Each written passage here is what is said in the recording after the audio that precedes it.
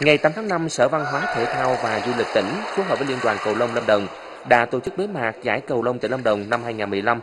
Nhìn chung giải năm nay có nhiều trận đấu diễn ra khá quyết liệt và có chất lượng chuyên môn cao. Sau 4 ngày thi đấu sôi nổi, ban tổ chức đã trao 7 giải nhất, 7 giải nhì và 14 giải ba cho 6 đơn vị tham gia ở 7 nội dung đơn nam, đơn nữ, đôi nam, đôi nữ, đôi nam nữ, đồng đội nam và đồng đội nữ.